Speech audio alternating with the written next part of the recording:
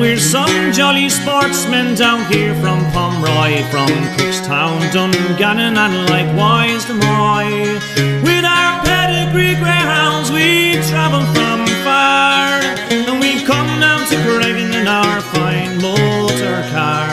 Well, into the lowlands these huntsmen did go, in search of the white-haired they'd look high and low, till at last Barney Conway from a bog bank so